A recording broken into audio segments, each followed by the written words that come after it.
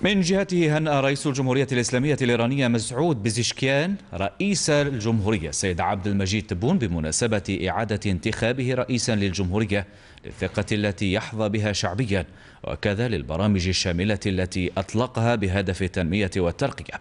كما عبر الرئيس الإيراني عن أمله لترسيم رؤية للتطور الشامل للعلاقات الثنائية بين البلدين متمنيا للسيد الرئيس كل العافية والتوفيق في إنجاز المهمة الجسيمة التي ألقاها الشعب الجزائري على عاتق فخامته.